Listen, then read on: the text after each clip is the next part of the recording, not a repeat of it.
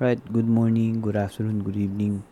Uh, I'd like to greet out yung ating mga viewers from uh, Korea, Singapore, and Taiwan who has been steadily increasing for the last few weeks.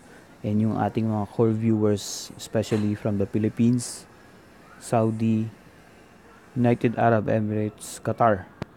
Alright, and this is PSI recap. This is for tomorrow's trading. So, we'll be reviewing yung ating mga potential stocks that has been uh, very very good no sa kanilang price action na could have have a good uh, momentum moving forward to our next week's trading.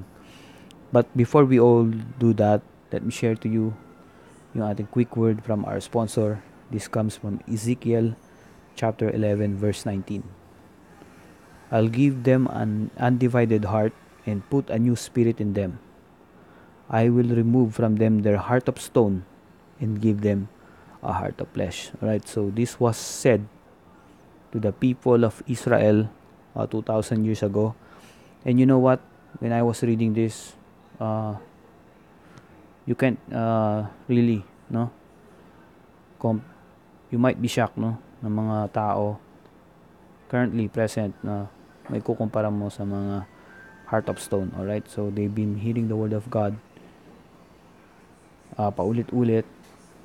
Sometimes they, they, they are reading them themselves but hindi tumatama sa kanilang puso yung mensahe. Alright? So, paano ko nasabi yun? I was also uh, heart of stone, no? So, I was viewing the Bible as more an informational more on the academic side parang tinitake ko siya as history, history books. But definitely it's more than that right? So Bible should transform you right? It should correct your ways and marami pang iba no? Na makikita mo sa Bible. Kaya nga lagi kong ini-endorse sa inyo to read your Bible as much as possible because nandito na lahat ng kailangan nyo right? So again I hope and pray na yung mga nakikinig sa akin, uh, wala naman sa inyo yung ganyan. Right? Or kung may ganyan man, at least you ask and pray to God na baguhin yung puso nyo. No? From a heart of stone to a heart of flesh. Alright? So with that, let's now move on sa ating uh, mga charts. And everything that I will say and everything that you will hear from this point on, it will just uh, probability. Right? So, final decision should rest upon yourselves. Ikaw yung magkiklik ng buy order or yung sell order. And then take responsibility as always. So, first on our charts is uh, JGS Summit Holdings. Napakaganda ng ano, recent activity nitong JGS and currently uh, nagrally na rin siya no medyo mataas na rin yung rally niya from the very bottom right So we can hear we can see na at least yung uh, below 50 is malabo-labo na mangyari yan. But currently with its current price na 59.40, should we buy or not? All right. At this point in time, it's a considerable resistance at this point and this point. And it's currently uh, touching yung resistance area. So what do we do? Uh, we should at the very least uh, try natin na abangan to at sa 55 or 55-50 level at this point no? kung kung ma-retouch niya or in the next few days Monday Tuesday if it reach past 60 with momentum yung acceleration then definitely you should start accumulating itong uh, uh, JGS right so if makabili ka naman at around uh, 55 55 50 yung ating target is around uh, 64 or 65 no? So dito banda. And uh, that is a 13 for, to 14% right? Driving force nitong uh, uh, JGS if you have not been following or reading itong uh, mga announcement or disclosure sa JGS it uh, it it won yung consortium with the building of the new Clark Airport So 25 years uh, operations and maintenance pa nga yan. So, yan yung driving force and given that the market is really good at this point in time, you might want to consider itong JGS. Alright, so medyo bugbog-bugbog na rin to since uh, 2017 and even 18 pa nga medyo bugbog na rin to and I think it's about time na itong JGS uh, finally would make a run no so right so again observe mo muna yung 60 if it retrace much better. At least sa 55 or 55.50 ka bumili. And then uh, if not if it pass bridge 60 consider consider accumulating no? Itong uh, JGS right? So that is uh, our take for JGS let's now move on sa ating isa pa sa mga stocks no? Even no 2017 when we have a bull market isa ito sa mga uh, patuloy na bumababa. Right so we can clearly say at this point in time na it has already bottom out. So sasabihin ko na no? From what I see it looks like it has already bottom out no? With this big big volume alright so walang retailer na bibili niyan ganyang karami na bumababa. Ang bibili niyan is something institutional. Alright so again tulad nga ng sinabi ko since last week ah uh, nandito tayo dito sa candle na to. I, I told you not to buy. At least isara niya man lang at least yung 2 pesos. Right. Within this week, uh, I think it's going to breach yung 2 pesos. And uh, magsara lang think 201, 202, even 203. You can already start uh, buying itong CHP. And, and even nga kahit sa 1.97 with the recent price action, maganda rin yung pinapakita, no? Hindi na rin siya bumaba, no? So, again, at least man lang sana ma-breach niya yung 2 peso. Right? So, para ma, ma, matap natin yung mga bulls na nando doon. And it would serve as a psychological support din naman para sa ating stocks na ito. Right? So, again, uh, I am going to say it. It looks like it has already bottom out itong CHP.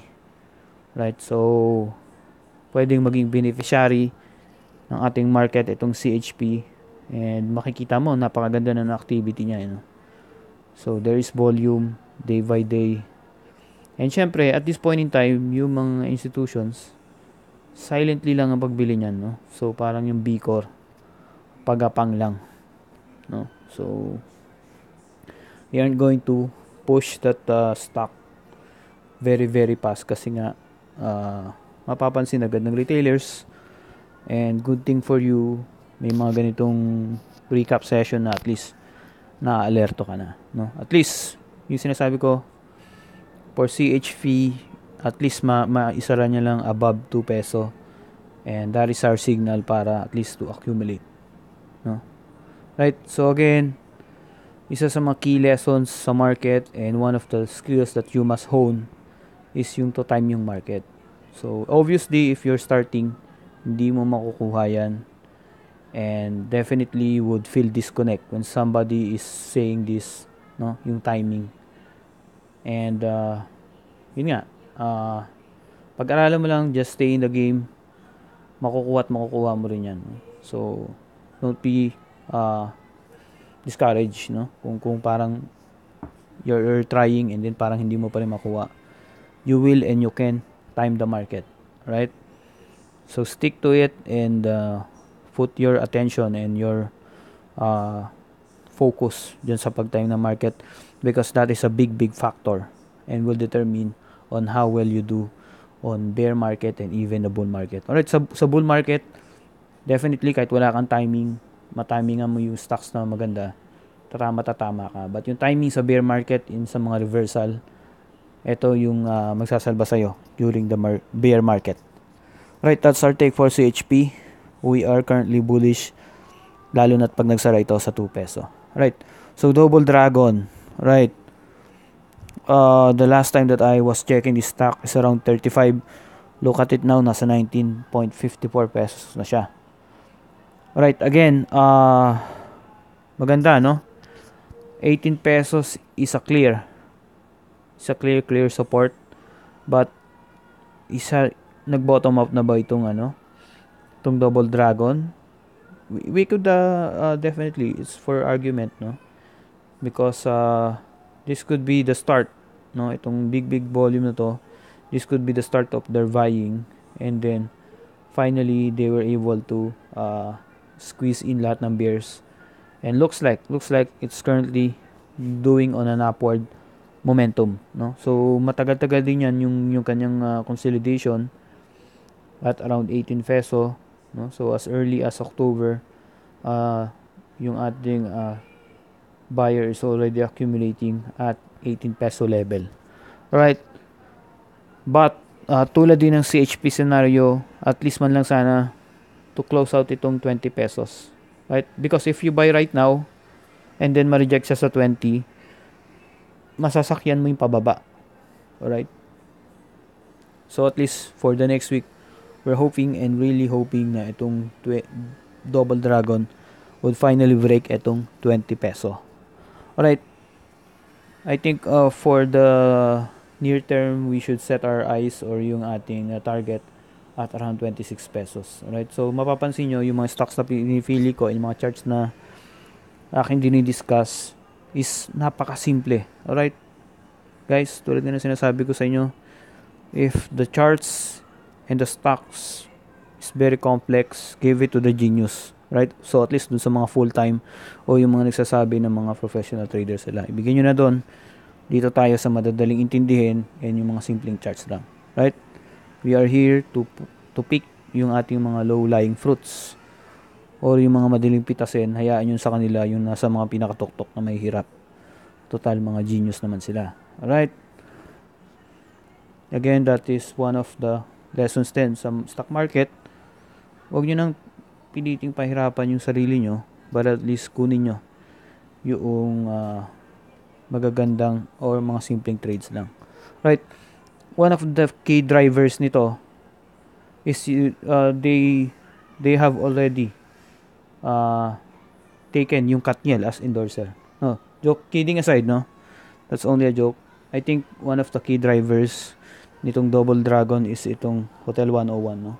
So, nagiging maganda yung occupancy rate and maganda yung uh, concept nito. It's like yung time sharing where the buyers will be having a yearly yield sa kanilang uh, pagbili ng kanilang unit and then madi-distribute sa kanila on a uh, I think uh, yearly yearly kung ang magkano kinita right? So again yung mga owner naman would have uh, parang uh, specific uh, day eh, or even weeks na ano pwede sila magstay doon sa kanila. Right? So I think maganda yung concept ng Office 101 and recently they have already uh, launched yung kanilang international uh, partners na sa mga key countries no Singapore, Hong Kong, Japan, uh, London, Italy, and US, no? Mapapansin mo usually, ito yung mga bansa na may mga balikbayan, alright? So, maraming OFWs as well. Right? So, they have already uh, opened up yung kanilang mga international subsidiaries. Alright? So, Double Dragon, uh, ganun, no? Ganun. If you are going to have yung confirmation, uh, 7.24%, that is the premium you pay when you wait for the confirmation. So, okay lang. Alright, okay lang na magkaroon ng confirmation. At least yung hintayan is hindi na ganun katagal. Alright, so that's it for our Double Dragon. And let's now move on sa ating next watch list. Alright, let's have now ito yung ating mga alpas. I think for the last time na inaano natin to, I think finally, no, we can clearly see and confirm na yung 220 is a solid, solid support. So would it breach yung 220 at this point in time, especially when the market is roaring, it might be hard time bago bumaba ito sa 220. So uh, mapapansin mo is yung candle niya is registered parang uptrend na rin to, no? So at least kung nakabili ka rito sa 220, you're in a good good position. Alright, so recent three candles maganda, no? It registering higher lows at this point in time and uh, it should it should uh, at this point in time do an upswing right so at least initial target would have been yung at least yung mga 260 around 260 area yung initial target natin for the TP1 and the TP2 at this point in time kahit magbenta ka sa 2.9 right? So that is a good good uh, 10% upside and 21% upside. So ang kagandahan sa IRC since it is also an event driven stock given na malapit ka bumili dito sa support na to once na magkaroon pa ng disclosures that's, that's an added bonus alright for you sa IRC and again uh, maganda maganda yung kanyang uh, pinapakita. If you are going to zoom out and get the big picture. Because uh, in the bigger picture etong area na to is uh, ano lang siya uh, consolidation right? So again maganda yung risk to reward ratio nitong uh, IRC because 220 is proving to be a good support for IRC. Right? Let's now move on sa ating isa pa. Yung ating uh, Pure Gold. Alright, so Pure Gold, I think for the last two days ng trading week last week, uh, maganda yung pinakita. Right? So, mapapansin mo naman, medyo talagang vertical na yung candle. So, wag mo munang habulin. Right? And you might want to see, check and see kung ano yung mangyayari at 48 or 48.50. So, kinakailangan malagpasan nyo muna to bago natin ma-consider bago bumili dito sa Pure Gold. But, if, for example, you're very, very bullish dito sa Pure Gold, at least you must wait and check and uh, at least buy dun sa mas maganda-ganda namang abangan na 45 or 40, 45, 50, right? So again, if it offends ng mas mataas or yung 48 ma-break niya agad by Monday or Tuesday, definitely consider this one buying because uh, medyo uh, mahirap din naman if you are going kung palagi kang nagba-buy on the retracement or yung buy on the on the pullback because if yung stock is maganda uh, pwedeng hindi na rin yan bumaba ng basta-basta. Tulad ng recently nangyari sa FDC and Alco. Alright so at least hopefully you were able to catch that because uh, pumasok sa atin yun yung during yung ating mga few previous uh, charts before they have already moved yung ganun ka taas. Alright. So that's our, that's our take for uh, pure gold. And again, no, ibalik ko lang. Alright, so pure gold, as you can see, 2018, yung retail sector was one of the uh, industry that is uh, hit by the bearish market. Alright, so I think uh, maganda-ganda yung kanyang reception given na tumataas siya ngayon. Right, so next ang ating uh, Felix Mining Corporation. So again, uh, this is on our watch list last week if you are going to review and nandito pa lang candle natin. So, ang sabi ko, uh, wait and hold, no? At least uh, to check kung mababasag niya yung uh, 2.88 uh, resistance and na-spot na natin to no? At around the 2 280 but nagkaganoon hindi na siya nag-retrace. So at least yung next na candle nabasag niya yung 309 I hope that you're able to catch no? Kahit mag end of day trading ka. And then uh, at least you still have gotten already a profit no? 309 to 380 that's a solid solid uh, uh, buy for you at this point in time no? So if you are not following itong uh, PX all right uh, they are they are subscribing to uh, PXP shares. So PXP shares alam naman natin diyan pumasok na rin diyan si uh, Dennis Uy and mukhang may niluluto no? This point in time, wala pang dinidisclose. And with the current price action, mukhang it would most likely consolidate muna, no? So again, if you're going to to at least buy itong uh, PXP, you might want to check and see kung ma-hold niya yung 3.7 or 3.75, no? So medyo mataas-taas na rin yung inabot, no? So it's time for this small retracement and a small fallback at this point in time. Alright, that's our take uh, for VX or yung Felix mining. Right? So I think that's it. Alright, uh, meron pa palang isa. Alright, so, pinaka-importante pa yung mga iiwan natin. Alright, so again, uh, SLI. Alright, that is a clear, clear breakout, technical breakout at this point in time. So, triangle yan. And, definitely, kung hindi mo pa siya nahuli, uh, you might want to check and see itong uh, SLI, no? Or Santa Lucia Land Incorporated. Right? So, SLI, uh, wag ka nang tumawad dito.